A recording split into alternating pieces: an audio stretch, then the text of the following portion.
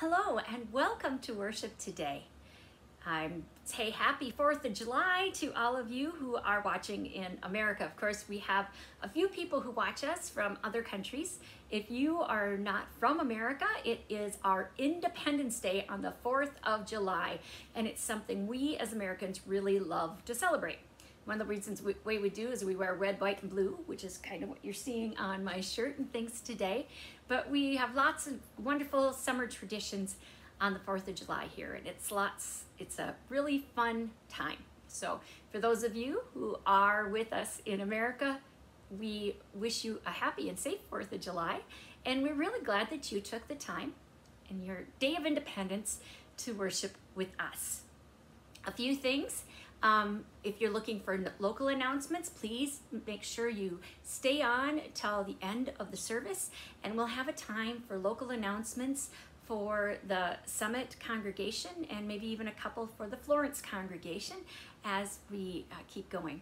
But if you are uh, not from our local congregation, we definitely want you to worship with us anyway. And if you are watching us and worshiping with us, we have two things we'd like you to do. One, you can either give us an emoji, which is like the like or the heart button or any of those things, or you can let us know what you're doing on this 4th of July uh, along with the worship. We'd love to hear the, that from you. And you can also, number two, share the worship.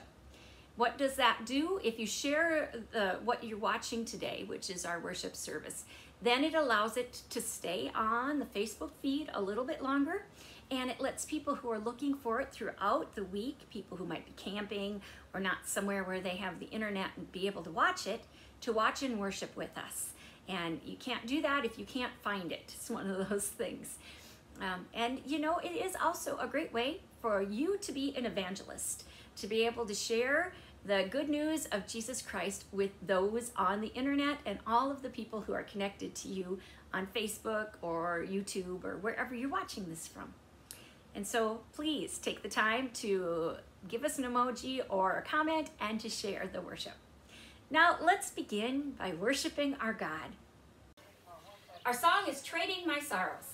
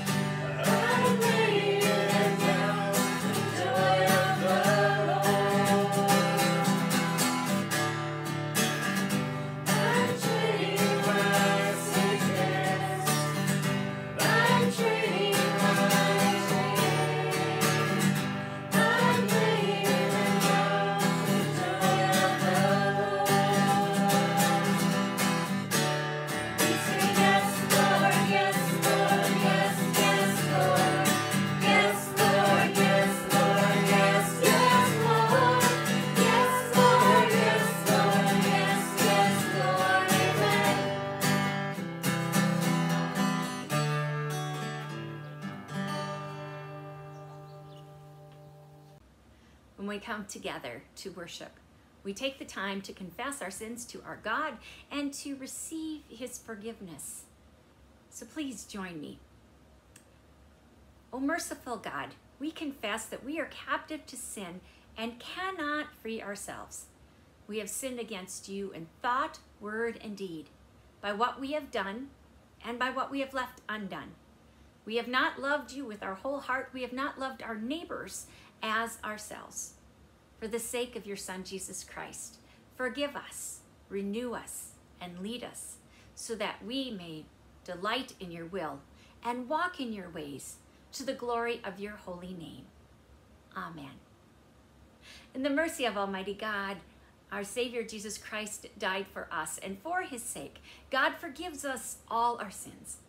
As a called and ordained minister of the Church of Christ, and by his authority, I, therefore, can declare to you the entire forgiveness of all of your sins. In the name of the Father, and of the Son, and of the Holy Spirit. Amen. We continue on then with our prayer of the day. If you happen to have the white celebrate inserts, the prayers are written on them. God of the covenant, in our baptism, you call us to proclaim the coming of your kingdom. Give us courage you gave the apostles that we may faithfully witness to your love and peace in every circumstance of life. In the name of Jesus Christ, our Savior and Lord. Amen. Well, now have our readings of our lessons. Our first reading comes from the book of Ezekiel, the second chapter. A voice said to me, O mortal, stand on your feet, and I will speak with you. And when he spoke to me, a spirit entered me and set me on my feet. And I heard him speaking, and he said to me, Mortal, I am sending you to the people of Israel, to a nation of rebels who have rebelled against me. They and their ancestors have transgressed against me to this very day. The descendants are impudent and stubborn, and I am sending you to them. And you shall say to them, Thus says the Lord. Whether they hear or refuse to hear, for they are a rebellious house, they shall know that there has been a prophet among them. Our psalm is a, Psalm 123. To you I lift up my eyes, to you enthroned in the heavens. As the eyes of the servant look to the hands of their masters, and the eyes of the maid to the hands of their mistress, so our eyes look to you, O Lord our God, until you show us your mercy. Have mercy upon us, O Lord, have mercy, for we have more than enough contempt.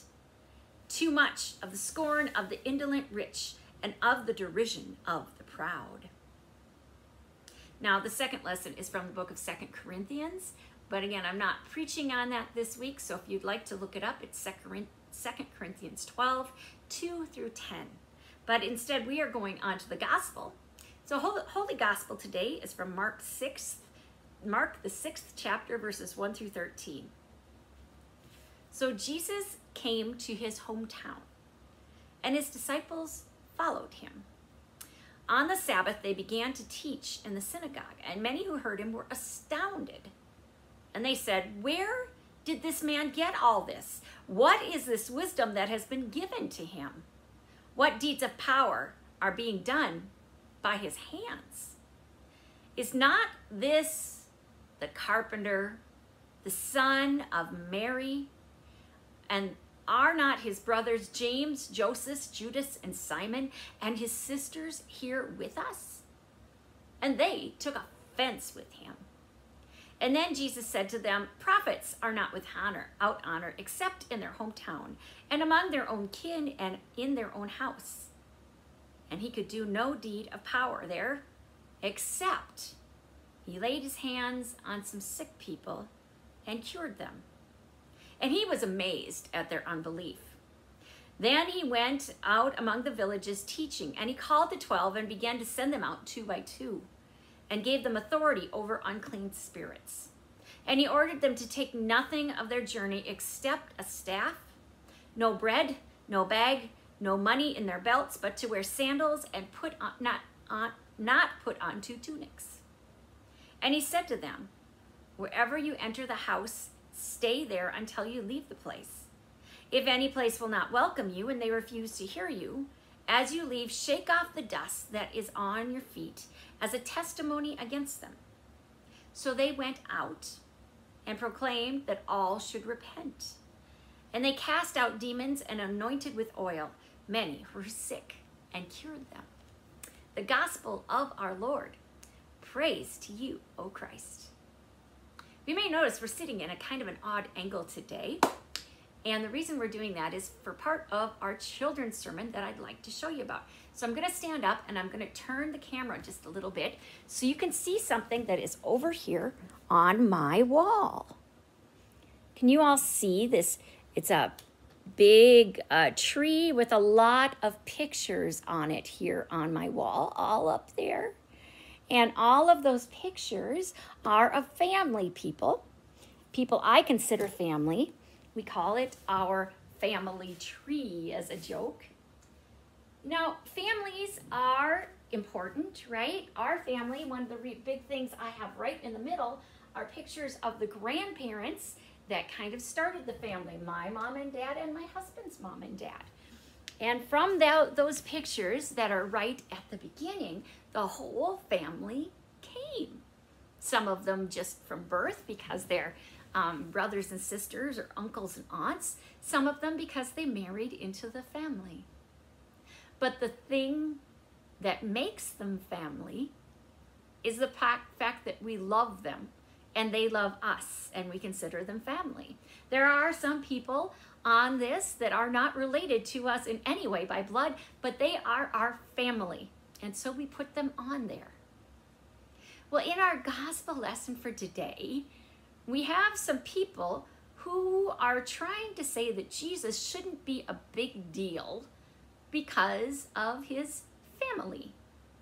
They try to say that his mother wasn't important and what he did wasn't important and the people he loves are not important. And because his earthly family wasn't important, then Jesus shouldn't have been important or be able to be the Son of God, the Messiah, either. Well, we know that they are wrong, right? wrong, right? That sounds funny. We know that that's not true. Just like we know sometimes family can be people who we love, who aren't related by blood at all, people who are adopted into families, or people who are just ones we've gotten to know and gotten to love. And so we know what makes Jesus our family and makes you part of God's family is not who you're related to by blood, but who you believe in and who you love. You love Jesus, and Jesus loves you. So therefore, you get to be part of Jesus' family. And that's all that matters. So let's remember that today. We're all part of the family of God. Amen. Okay, so let's say a prayer before we say our sermon. Loving God, on this day of the 4th of July and our remembrance of independence, may the words of my mouth and the meditations of our hearts be acceptable to you, our risen Lord and Savior. Amen. Well, last weekend, Michael, my husband, and I, we were going between two churches, the, between the Summit Church and the Florence Church, who were just starting to go and get to know those people over in Florence. And we uh, listened to the radio, and on the radio, we heard a news story. And the news story was from Albuquerque, I believe it was, where there had been a big balloon, uh, hot air balloon, gone into the sky with people on it, and it had something gone wrong, and it had crashed to the ground. And listening to that story, is, and which is a very sad, terrible story, made me think. Excuse me, made me think of a story that I have heard and told many times throughout time about another trip on a hot air balloon. Now, I think I might have even told this last year online if you've been listening, but as my seminary professor always tells me, a good story is worth telling more than once. So here goes. Well, the story starts out with one of uh, my authors I really like. His name is John Ortberg, and his wife Nancy. Well, his wife Nancy was having a really one of those really important birthdays. And so he decided he was going to do something special for her. And he thought and thought and thought until he decided, you know what? We're going to go on a hot air balloon ride on her birthday. That'll check off some of our, you know, some of the bucket lists that you want, and we'll just really enjoy it. And so he paid the money, got it all ready, and he thought he had made a really good idea right until the day that he got her out to the place to start going up in the hot air balloon.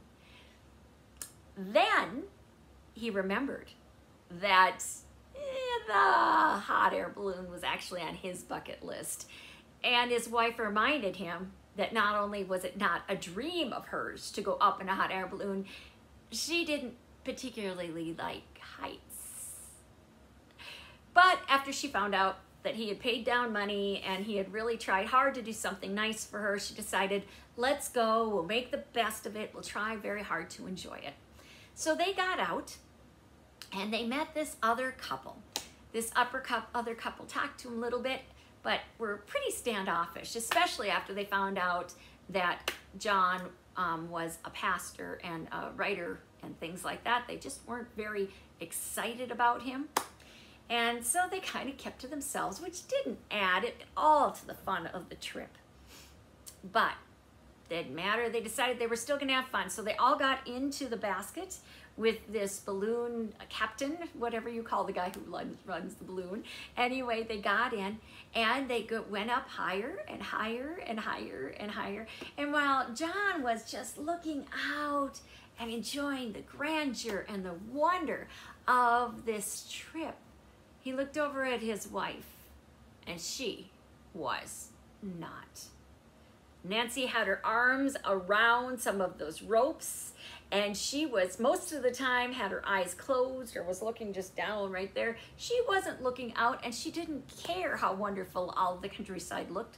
She just didn't like being this high up in the air.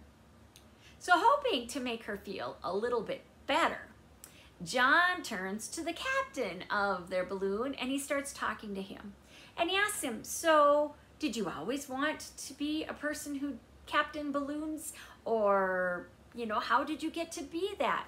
Hoping that he would tell him some wonderful inspirational story that would make Nancy feel better.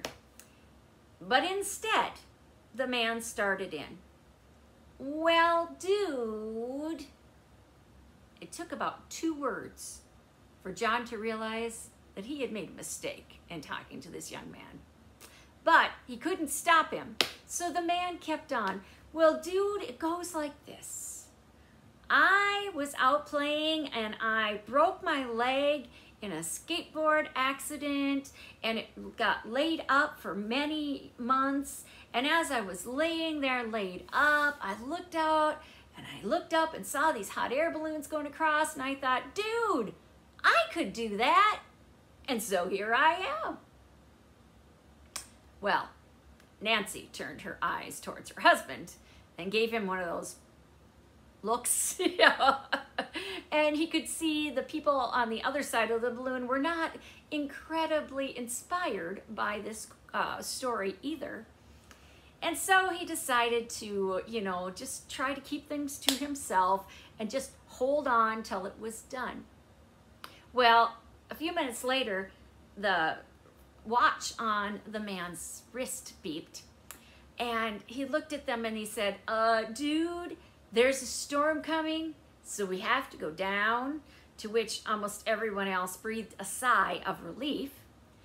But then he said, and you better hold on pretty tight, dudes, because I've never piloted this specific one before, and it's kind of going to be a bumpy ride. kind of going to be a bumpy ride. John Ortberg wrote that that did not describe what the ride down was like at all. It was bumpy, it was terrible. His wife was about ready to curse out his own uh, name and everybody was yelling. And at one point, when it looked as if they were going to tip over and fall out of the baskets, the standoff couple in the other side of the basket rushed over to him and grabbed him and said, You're a pastor. Do something religious. Save us. John Ortberg said it was all he could do not to turn to him and take an offering. Because, you know, people think that's the kind of things that religious people do. Well, you're the pastor. Do something religious. You're the person who's supposed to be holy, do something religious. Could have been the things that those who had Jesus in front of them in his hometown were saying, or at least thinking. See, Jesus is fairly early in his ministry. He has gone and gotten well known for healing people and doing miracles. He hasn't had all of his 12 called yet. And, you know, he's, he's early on, but he's showing that he has great power. And he comes to his hometown where a lot of his family are living, obviously. We kind of think maybe Joseph is gone by then, but we're not sure. But when he comes to this hometown, these people who have been hearing all these things about him look at him and they say, well, if you're so great, do something religious. What's something religious that Jesus should do? We're not quite sure. And when he seems hesitant, they start talking to each other and they start saying, well, we know who he is. He's just a carpenter. Well, in our world, being a carpenter gives you a fairly good middle class, um, you know, living. You're an artisan, most of carpenters are. Right now, if you want to hire a carpenter, you'd have to get in line and probably be a year or two behind because there's not that many carpenters and they do a very good job. But that wasn't what they were referring to in Jesus' time. In Jesus' time, a carpenter was a person who worked with their hands. And if you were a person who got your hands dirty in work, you were low class. And so they're trying to put him in his place. Isn't he just a carpenter? Aren't his brothers and sisters over here? You mean to tell me he thinks he's holy when he was born into that family? And then they give him an insult that's even worse they say, Isn't he Mary's son? Now, we don't think of that as an insult in our lives. If somebody says to me, Aren't you Carol's daughter? I would say, Well, yeah, I sure am. But in Jesus' day, you were never referred to as your mother's son unless people were trying to say that there wasn't a father, at least not a legitimate and so the people are trying to say that Jesus was born on the wrong side of the sheets or uh, whatever you want to say, but that he was an illegitimate child and that only Mary was there. That's a really, really big insult in Jesus' time, by the way. Nowadays, it isn't something we quite understand how big of an insult it is. See, they couldn't quite take the fact that something that could seem familiar to them, someone that they thought they knew, could be holy, could be the Son of God, as we now know and call him. Well, their disbelief, it says, made it so Jesus didn't do any big things, big miracles, big acts. You know, they were kind of worried, hoping that Jesus would bring down the wrath of God and overthrow the Romans or do something like that. But it says, I think it's always interesting how it says, all Jesus did was touch a few sick people and healed them. Well, if you know Jesus, if you know the way his ministry went, if you know what he stood for, you would know that touching sick people and healing them is exactly what Jesus would say was doing something religious. Jesus came to a people who thought that God could only be reached in a temple by the right people doing the right things. And he came to this earth and reached all of the wrong people on the outskirts. And he said, I want you to. And that didn't sit well with the people who were on the inside. Well, people of God, we belong in a world where most of the time the church gets kind of a bad rap. Where people look at you and say, oh, yeah, they're so religious. And that's usually not a compliment. Where people who aren't from the church expect that the church is actually all about those candles that are lit and, and the things that are chanted and all of the religious squares that we have to fill ourselves in. And they think that's all that there really is to it. They don't really get the truth about what it is to be a follower of Jesus Christ. That a true act of our religion is to go outside the doors of the church and to reach into the communities, to those who are hurting, to those are in need, to those who have no home or any place. Doing those acts, those, Jesus would say, are acts of being religious. So, how do we try to convince people around us what the true gospel of Jesus Christ says and does? Well, the best thing that we can do as followers is to do exactly as Jesus commanded. To not find ourselves too stuffed up in our Sunday best, too stuck up in, in all of the things that we love about being traditionally Lutherans or whatever denomination you are and to be, continue to reach out to those who need us the most. And not that only, to welcome in those who need us the most too. Jesus would tell us that that's the best way to be religious. Jesus Christ came into this world he taught us what it was to be his followers. He was very, very clear. And then he went to the cross for all of us who have a hard time doing the commands that he gave us. He suffered, he died, he rose again. And he lives on in you and me and all those who believe in Jesus Christ. And so, folks, this week, it's time to do something religious. In Jesus' name, Amen. Our song is Messiah.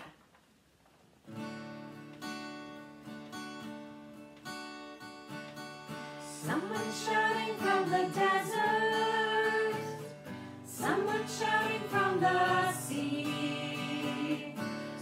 Someone shouting from the mountains. Someone shouting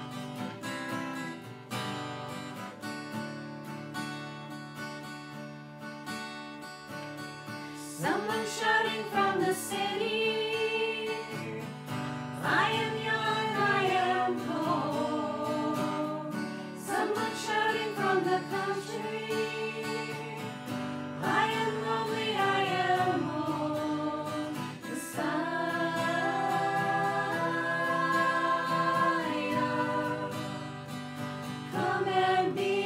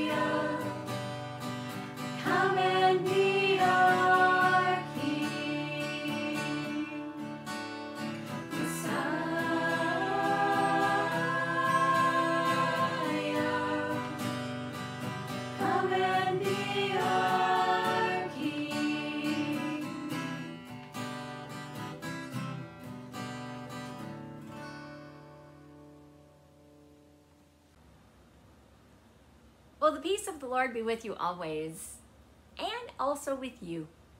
Today, knowing the power of Jesus Christ, we pass it on to you, no matter where you are and when you are listening, knowing that God's power is not kept within any bounds, not even the bounds of place to place, by electronic message here. God can and does go where his followers are. So peace be with you this day. We also want to remind you today and uh, every Sunday that we are called to be stewards of God. So, whether or not you belong to a church or to a congregation of Hope Lutheran, as I do, we ask you to remember that all you have and all you are are gifts from your God, and your God asks you to give your first fruits back as thanks.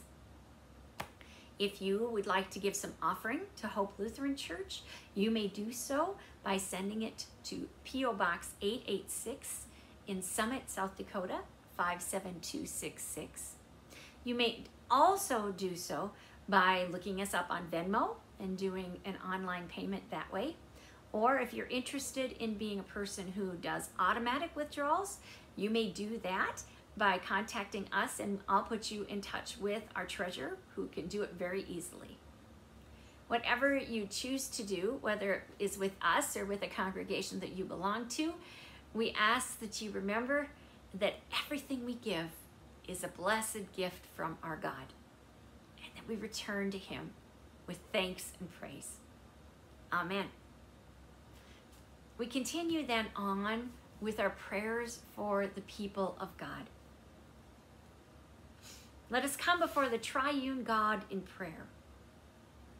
God of all, through the waters of baptism, you claim the people of all races, ethnicities, languages, and as your beloved children. Sustain the baptized and increase their faith, that your gospels may be proclaimed throughout the earth. Lord, in your mercy, hear our prayer.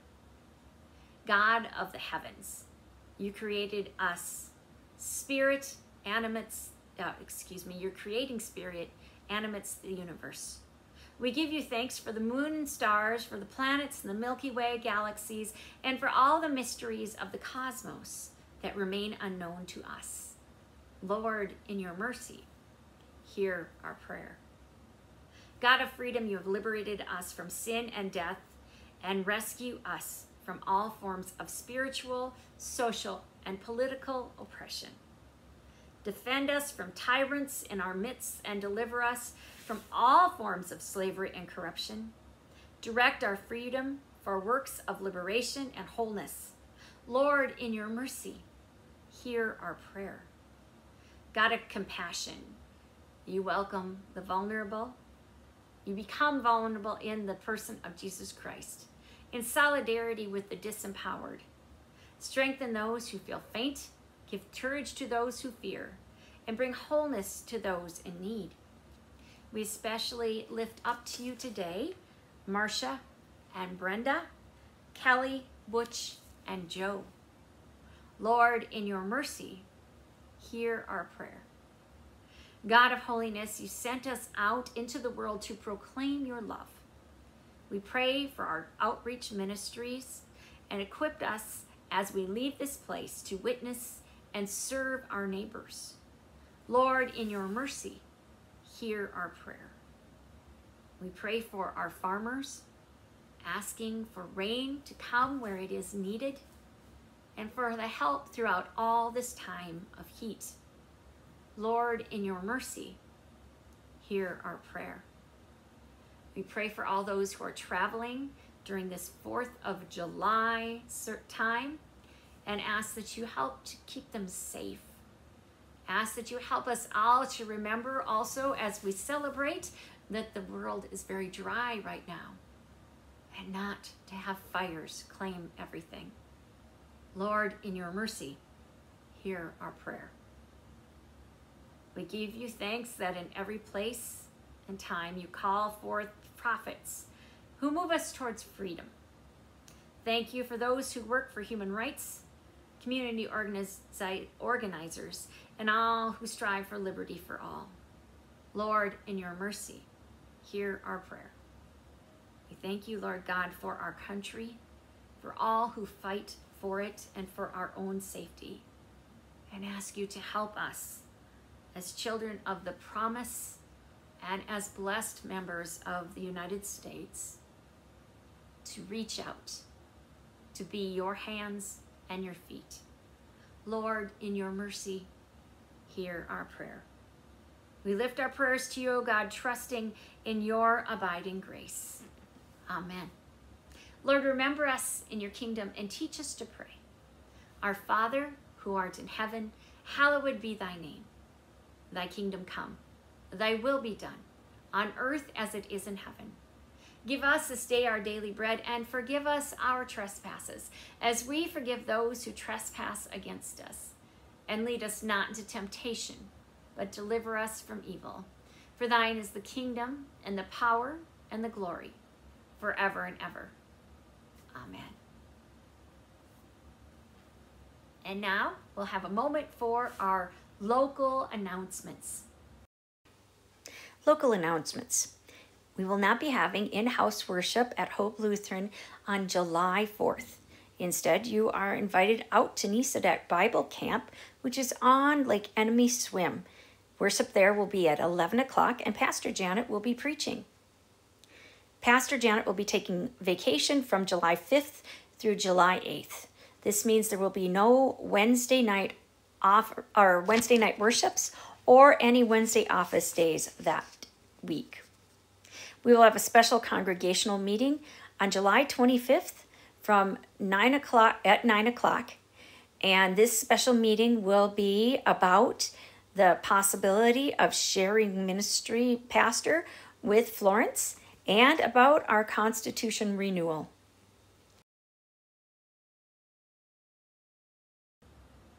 On this day when we celebrate our independence, may we remember our God of grace, our God of glory, and may our God bless us and keep us and travel with us this weekend. May he look upon us with favor and give us his peace. Amen. We'll now have our final song. Our song is Light of the World.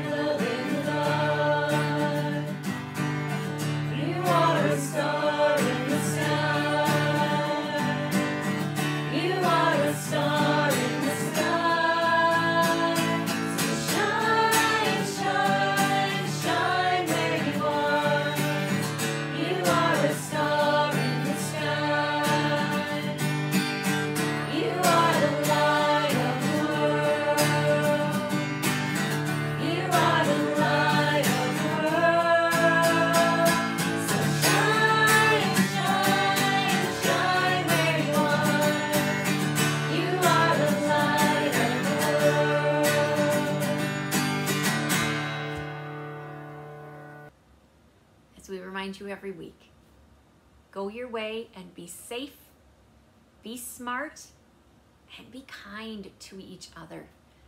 For we live in a world that needs so much kindness. Go in peace and serve our Lord. Thanks be to God.